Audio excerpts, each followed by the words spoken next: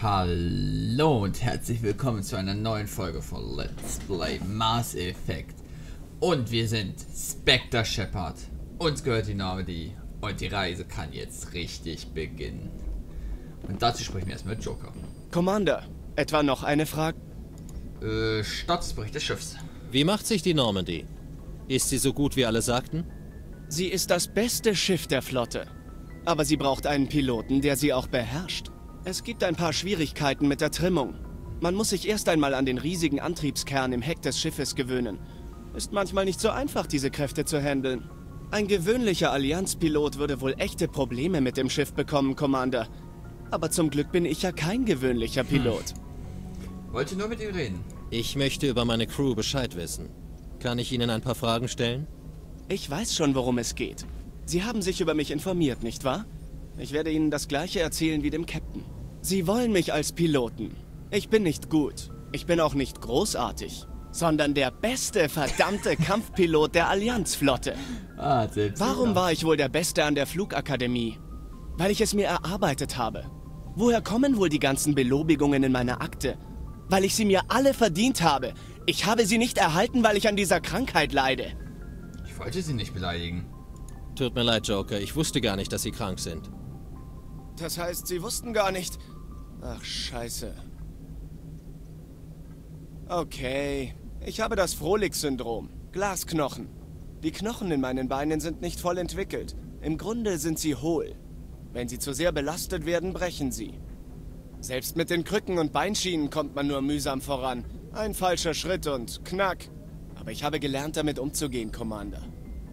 Geben Sie mir die Normandy und ich lasse Sie tanzen. Bitten Sie mich nur nicht aufzustehen und zu tanzen. Es sei denn, Sie stehen auf das Geräusch brechender Schienbeinknochen. Woher kommt der Spitzname? Warum nennen Sie alle Joker? Weil es viel kürzer als Flight Lieutenant Jeff Moreau der Allianz ist. Und außerdem bringe ich so gerne kleine Kinder zum Lachen. Sie weichen meiner Frage aus. Also gut, ich habe mir den Namen nicht ausgesucht. Eine meiner Flugausbilderinnen hat mich damit aufgezogen, dass ich nie lächeln würde. Also hat sie mich Joker genannt. Und dabei ist es geblieben. Unglücklich gewesen? Warum haben Sie denn nie gelächelt? Ich habe mich voll in die Flugausbildung reingehängt, Commander. Man kommt in dieser Welt nicht voran, wenn man grinsend wie ein Idiot durch die Gegend läuft. Am Ende des Jahres war ich der beste Pilot der Akademie. Sogar besser als die Ausbilder. Und alle wussten das. Das so kränklich wirkende Bürschchen mit den dünnen Beinchen hat es allen gezeigt. Dreimal dürfen sie raten, wer bei der Abschlussfeier am breitesten gegrinst hat. Äh, was für eine Krankheit wissen wir? Persönliche Vergangenheit. Wie sind Sie zur Allianz gekommen?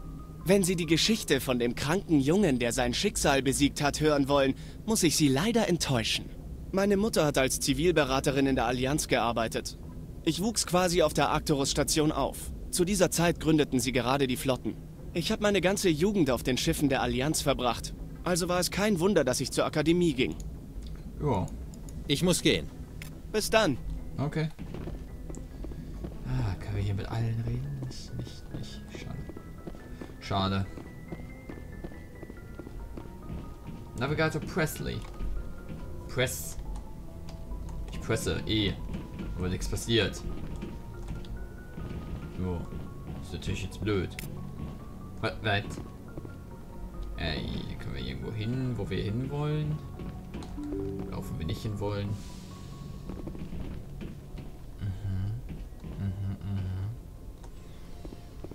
Hochinteressant, was es hier so gibt. Essenstisch. Kaden.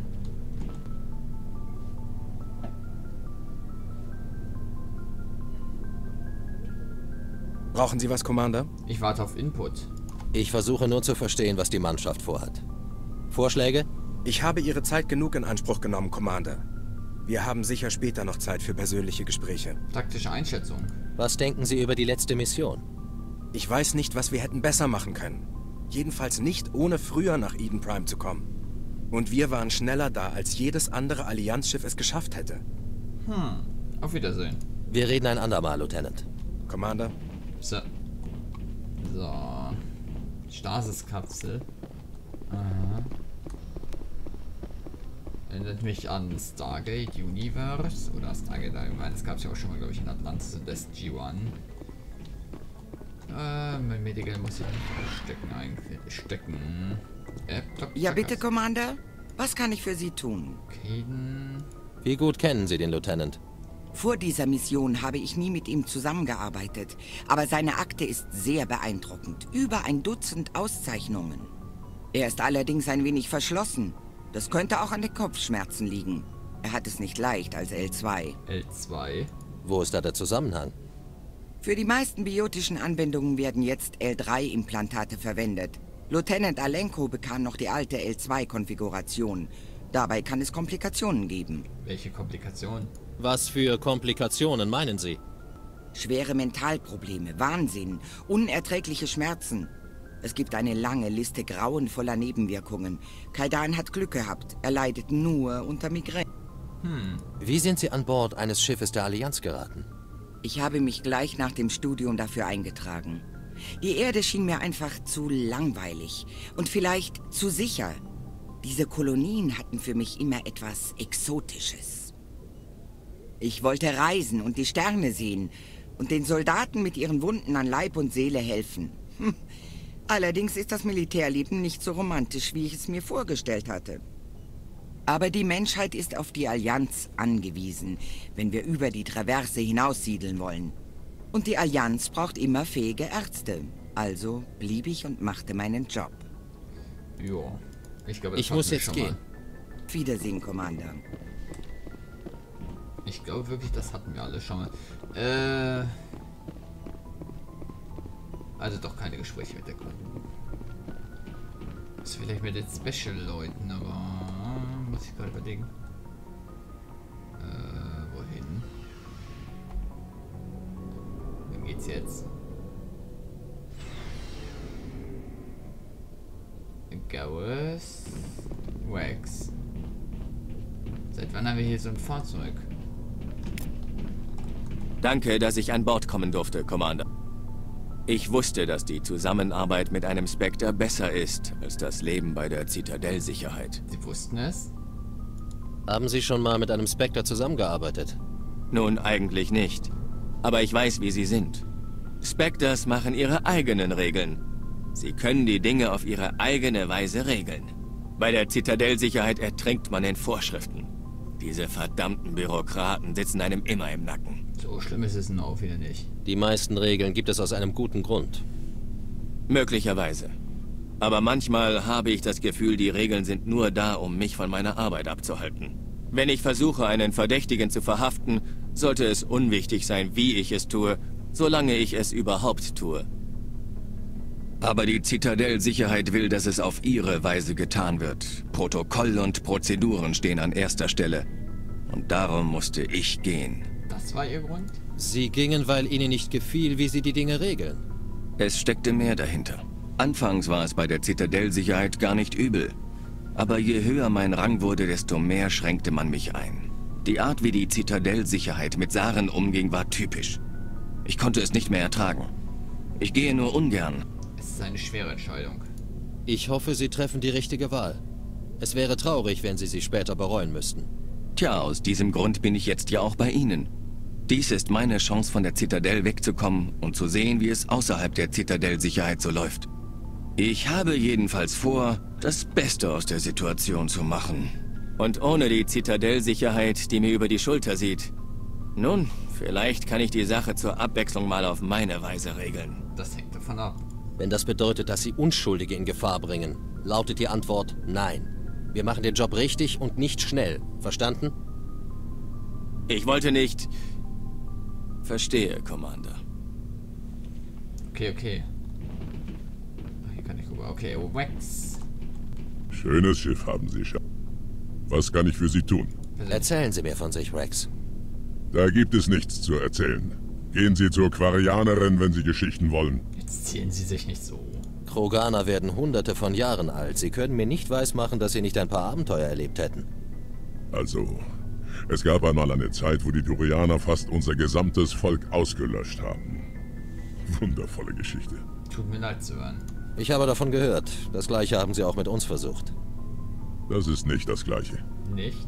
Für mich klingt es aber wie das gleiche. Dann wurden Ihre Leute auch durch eine genetische Mutation infiziert. Eine Infektion, die dafür sorgt, dass nur eines von tausend Babys die Geburt überlebt? Und auch ihr Volk droht, dadurch auszusterben. Ja, gutes Argument. Stimmt, es ist nicht das gleiche. Ich erwarte nicht, dass Sie das verstehen. Aber vergleichen Sie nicht das Schicksal der Kroganer mit dem der Menschen. Heikles Thema. Ich wollte mich nur mit ihnen unterhalten, ich wollte sie nicht verletzen. Ihre Ignoranz verletzt mich nicht, Shepard. Und die Kroganer habe ich schon vor langer Zeit aufgegeben. Wir leiden zwar an dieser Infektion, aber nicht sie ist es, die uns tötet. Dann stirbt ihr Volk wirklich aus. Zumindest geht es uns nicht gut.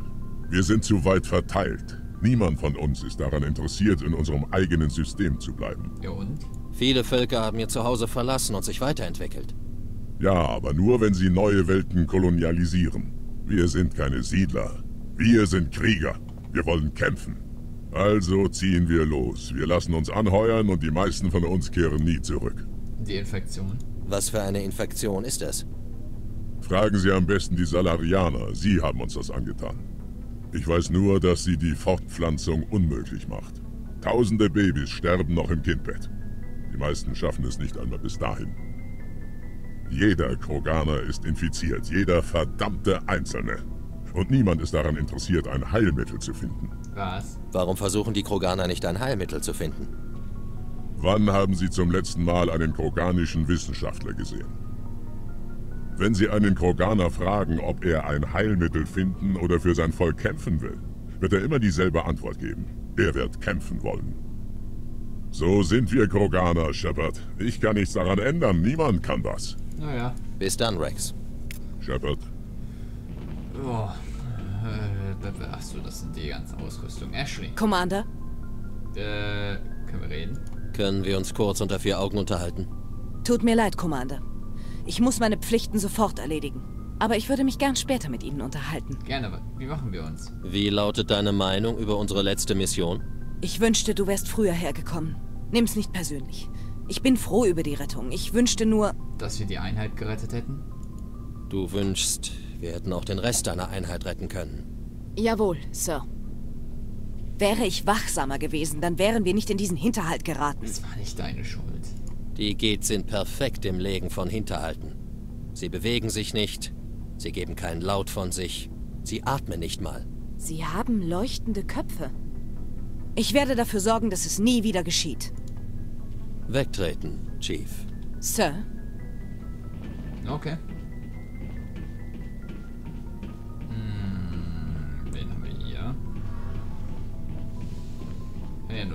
Talia. eigentlich. Adams? Feldintegritätsmonitor, aha. Hey, Commander, wissen Sie was? Diese Quarianerin, Tali, sie kommt andauernd hier unten vorbei und fragt mich nach dem Schiffsantrieb. Stört sie? Ich werde ihr sagen, dass sie sie in Ruhe lassen soll. Was? Nein, sie ist wirklich außergewöhnlich. Ich wünschte, meine Leute wären nur halb so clever wie sie. Noch einen Monat an Bord und sie wird sich besser mit dem Antrieb auskennen als ich. Sie hatte ein außerordentliches technisches Talent. Kann schon verstehen, warum sie sie an Bord genommen haben. Ich hielt sie für eine echte Bereicherung der Crew. Sie haben wirklich ein Auge für Talente, Commander. Aber deswegen sind sie wohl kaum hier heruntergekommen. Tarnsystem. Erzählen Sie mir etwas über das IES-Tarnsystem. Wie funktioniert das genau? Hier draußen im All kann man kein Schiff verbergen. Schiffe geben zu viel Hitze und Strahlung ab. Dadurch sind sie einfach mit Sensoren zu orten. Also muss man diese Energieabgabe eindämmen. Unser IES-Tarnsystem nimmt die vom Schiff abgegebene Energie auf und speist sie in schiffsinterne Speicher ein. So kann das Schiff nicht von Sensoren erfasst werden. Aber diese Speicher müssen von Zeit zu Zeit geleert werden. Nach ein paar Stunden im Tarnmodus überhitzen sie. Dann würden wir in unserer eigenen Hülle gekocht werden. Wir sind also unsichtbar. Und es gibt keinen Weg, unseren Standort zu ermitteln. Mit einem visuellen Scan kann man uns immer noch orten. Dazu müsste man nur aus dem Fenster schauen. Aber um uns sehen zu können, muss man schon sehr nah dran sein. Die meisten Schiffe setzen Scanner ein. Solange die Tarnsysteme funktionieren, können sie uns nicht orten, außer wir gehen auf Überlichtgeschwindigkeit. Und was passiert, passiert bei ULG? Warum funktioniert es nicht bei Überlichtgeschwindigkeit? Bei ULG produziert das Schiff eine viel höhere Strahlung, die von den Speichern nicht aufgenommen werden kann. Wenn wir im Tarnmodus zum Sprung ansetzen, geht das Schiff hoch wie eine Leuchtrakete. Die Sensoren können unser Schiff orten, wenn wir zu ULG wechseln oder von ULG runterdrosseln. Aber bei Missionen mit kurzer Reichweite ist das IES-Tarnsystem unschlagbar und wir sind die einzigen, die es haben.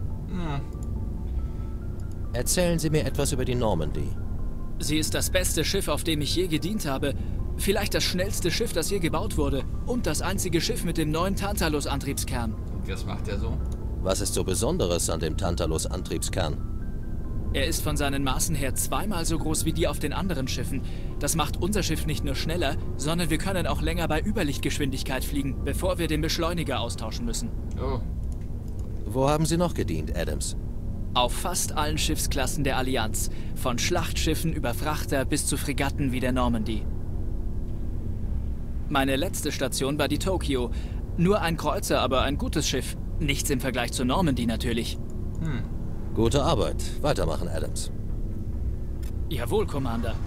Tommy. Das ist ein erstaunliches Schiff, Shepard. So einen Antriebskern habe ich noch nie gesehen. Kaum zu glauben, dass er in ein so kleines Schiff passt. Langsam verstehe ich, warum Sie Menschen so erfolgreich sind. Ich hatte keine Ahnung, dass die Schiffe der Allianz so fortschrittlich sind. Spezielles Schiff. Die Normandy ist ein Prototyp, neueste Technologie.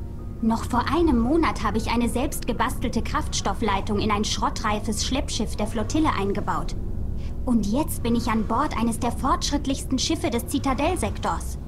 Ich möchte Ihnen nochmals danken, dass Sie mich an Bord genommen haben. Mit dem Aufenthalt auf einem Schiff wie diesem wird für mich ein Traum wahr. Interesse an Schiffen. Ich wusste ja gar nicht, dass Sie ein solches Interesse an Schiffen haben. Das haben alle Quarianer. Die Migrantenflotte ist der Schlüssel zum Überleben für mein Volk. Schiffe sind unsere wertvollste Ressource.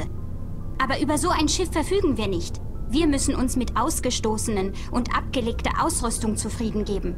Wir versuchen sie einfach so lange wie möglich zu nutzen. Einige Schiffe unserer Flotte stammen noch aus der Zeit, als wir vor den Geth geflüchtet sind. Das war vor 300 Jahren. Das ist einfach unglaublich, dass einige Schiffe in Ihrer Flotte 300 Jahre alt sind.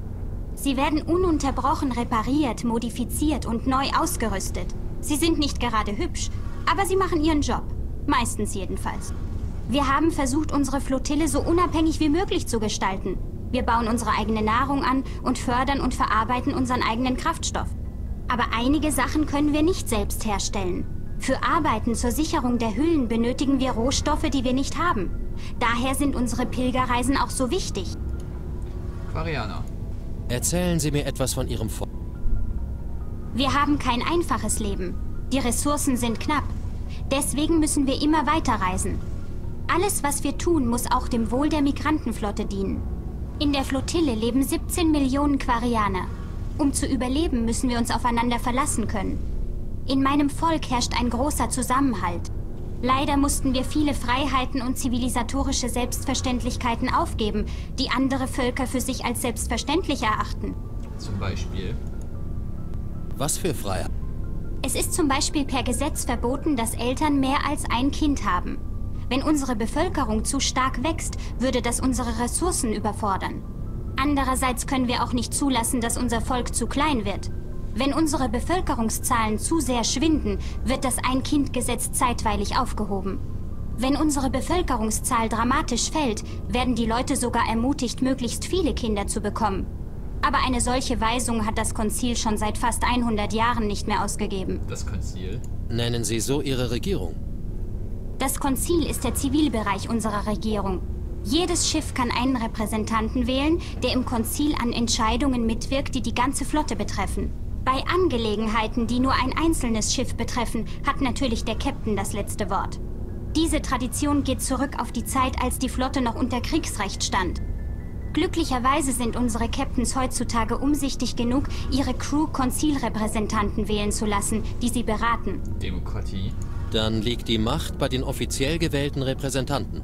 Zumindest wird es so gehandhabt. Das Konzil und die jeweiligen Repräsentanten der Schiffe legen die Regeln fest, die unser aller tägliches Leben bestimmen. Aber theoretisch herrscht immer noch das Kriegsrecht. Die fünf höchstrangigen Militäroffiziellen stellen den Admiralitätsrat. Diese fünf Personen haben in Notfällen die Autorität, alle Entscheidungen des Konzils zu überstimmen. Dafür muss die Admiralität zu einer einstimmigen Entscheidung kommen. Und sie können eine solche Entscheidung nur einmal treffen. Danach müssen die Mitglieder des Admiralitätsrates zurücktreten. Eine Verfahrensschutzmaßnahme, die sich bewährt hat. In fast drei Jahrhunderten hat der Admiralitätsrat nur viermal die Entscheidungen des Konzils überstimmt. Oh. Die geht. Ich möchte mehr über die Geht erfahren. Ich kann Ihnen kaum mehr über die Geth erzählen, als Sie ohnehin schon wissen. Es ist fast 300 Jahre her, dass Sie mein Volk ins Exil getrieben haben. Ich kenne nur die Geschichte ihrer Herkunft. Was sie waren, als wir sie erschufen und wie sie sich gegen uns gewendet haben. Interessant. Die Geth wurden ursprünglich als automatisierte Arbeitshelfer erschaffen. Zu Beginn war ihre Intelligenz auf die üblichen VI-Fähigkeiten begrenzt. Mit der Zeit haben wir einige Modifikationen an ihnen vorgenommen, damit sie andere und komplexere Tätigkeiten ausführen konnten. Damit erreichten sie zunehmend den Status echter KI-Programme. Illegale KI-Forschung? Warum hat der Rat nicht eingegriffen und sie aufgehalten? Es war keine KI-Forschung im eigentlichen Sinn. Wir haben am Rande der Forschungsgesetze gearbeitet, aber nie dagegen verstoßen. Die Modifikationen waren so geringfügig, dass wir sie unter Kontrolle hatten. Dachten wir zumindest. Aber wir hatten die Konsequenzen des neuralen Netzwerkes unterschätzt. Eine Million gleichzeitig denkender Geht schuf eine inhärente, instabile Matrix. Nicht so gut. Die Geht unterhalten ein Intelligenznetzwerk? Viele der Logiksysteme der Geht waren darauf ausgelegt, mit anderen Geht in der Nähe zu kooperieren. Das heißt, je größer eine Gruppe war, desto intelligenter war sie. Wie ein Bienenstaat. Dann stellen sie zusammen ein Gemeinschaftswesen dar. Nein, das ist so nicht richtig. Sie können keine einzelnen Daten oder Informationen austauschen, die sie wahrnehmen. Auf so viele gleichzeitige Eingaben ist ihre Programmierung nicht ausgelegt. Jeder Geht ist auf seine eigene Wahrnehmung und Identität beschränkt. Das neurale Netzwerk können Sie nur für bestimmte Prozesse nutzen. Man könnte es die künstliche Entsprechung eines Unterbewusstseins nennen. Wenn Sie in unmittelbarer Umgebung auf andere Geht treffen, können Sie aber bestimmte niedere Prozessfunktionen koordinieren und mehr Kapazitäten für eigene oder individuelle Gedanken schaffen. Das verstehe ich nicht. Das ergibt für mich keinen Sinn. Wahrscheinlich ist es auch schwieriger, als ich es erklären kann. Die Geht sind herausragend fortschrittliche und komplexe Wesen. Für sie ist nur interessant, dass sie umso klüger werden, je mehr sie sind. Je mehr wir von ihnen bauten, desto ausgeprägter und abstrakter wurde ihre tatsächliche Intelligenz. Eines Tages fragte ein Geht seinen quarianischen Aufseher nach der Natur seiner eigenen Existenz. Lebe ich? Warum bin ich hier? Wie lautet meine Berufung? Wie Sie sich vorstellen können, löste das eine Panik in meinem Volk aus. Warum? Was soll an diesen Fragen so verkehrt sein? Die Geht wurden geschaffen, um eintönige oder gefährliche Arbeiten zu erledigen. Maschinen können mit solchen Arbeiten betraut werden. Aber denkende Wesen werden sich damit nicht lange abgeben wollen. Die Geht zeigten Zeichen rudimentären Selbstverständnisses und unabhängiger Gedanken. Als intelligente Wesen hätten wir die Geht als Arbeitssklaven missbraucht. Es war abzusehen, dass diese neuen, bewusstseinsfähigen Geht sich gegen ihre Situation auflehnen würden. Wir wussten, dass sie einen Aufstand gegen uns starten würden. Also haben wir zuerst reagiert. Es wurde eine allgemeine Order an alle quarianisch kontrollierten Systeme geschickt, alle Geht permanent zu deaktivieren. Die Geht haben sich gegen diese Order gewaltsam aufgelehnt. Aber sie haben sich ja verteidigt. Man kann ihnen nicht verübeln, dass sie um ihr Überleben gekämpft haben. Wir hatten keine Wahl. Die Geht waren kurz davor zu rebellieren. Durch schnelles Eingreifen hätten wir den Krieg beenden können, bevor er überhaupt begonnen hätte. Wir hatten gehofft, dass die meisten Geht noch immer nur wenig intelligenter als Maschinen waren und keinen Widerstand organisieren konnten. Aber sie hatten sich viel weiterentwickelt, als wir es angenommen hatten. Es gab einen langen, blutigen Krieg. Sie haben viele Millionen Quarianer umgebracht. Am Ende wurden wir gezwungen, mit unserer Flotte zu fliehen und die Heimatwelt zu verlassen. Wir hatten zunächst befürchtet, dass die Geht uns verfolgen würden. Aber sie haben den Nebel nie verlassen. Und jetzt treiben wir als Exilanten durch das Weltall und suchen nach einem Weg, uns das zurückzuholen, was wir verloren haben. Sie haben sich verteidigt. Ich kann kaum Mitleid mit ihnen haben. Ihre Vorfahren haben versucht, eine andere Spezies auszulöschen. Unser Fehler war, die Geht überhaupt zu erschaffen. Aber es war kein Fehler, gegen sie in den Krieg zu ziehen. Ohne Gegenwehr hätten sie uns ausgelöscht. Sie sind eine künstliche Lebensform. Sie haben keine Verwendung für organische Wesen, nicht die geringste. Welche Erklärung haben Sie dafür, dass Sie sich vom Rest der Galaxie abschotten? Welche Erklärung haben Sie dafür, dass Sie alle organischen Lebensformen getötet haben, mit denen Sie je in Kontakt getreten sind? Tut mir leid. Ich wollte sie nicht verletzen. Tut mir leid, ich habe etwas heftig reagiert. Die meisten Quarianer haben eine eher unerbittliche Meinung über die Geht. Die Pilgerreise. Ich möchte mehr über ihre Pilgerreise erfahren. Wenn wir erwachsen werden, verlassen wir unsere Geburtsschiffe und müssen uns eine neue Crew suchen. Damit sichern wir die genetische Vielfalt innerhalb der Flotte. Aber die Schiffe nehmen niemanden, der ihnen nur zur Last fallen würde. Deswegen gehen wir auf Pilgerreise, um unseren Wert zu beweisen. Wir gehen allein und lassen die Flottille und die Familien zurück. Wir kehren nur zurück, wenn wir etwas Wertvolles gefunden haben, das wir zur Flotte zurückbringen können. Diesen Fund übergeben wir dann dem Captain des Schiffes, auf dem wir heimisch werden möchten. Wenn das Geschenk angenommen wird, werden wir Mitglied der Crew. Annahmeverweigerung. Kann ein Captain ein solches Geschenk auch ablehnen? Das kommt nicht sehr oft vor. Die meisten Captains sind darauf bedacht, ihre Crew und damit auch ihr eigenes Ansehen in der Gesellschaft zu vergrößern. Normalerweise würde ein Captain auch ein weniger wertvolles Geschenk annehmen, als Teil der Tradition. Aber wer ein Geschenk unter Wert mitbringt, genießt einen schlechten Ruf. Das ist keine besonders kluge Methode, Eindruck auf seine neue Crew zu machen. Die meisten Pilger kehren nicht zurück, bis sie etwas Wertvolles gefunden haben. Ich möchte über etwas anderes sprechen. Zum Beispiel, Auf Wiedersehen. Ich muss jetzt gehen. bis dann. Ja, und wir machen einen Cut. Bis zur nächsten Folge und tschüss.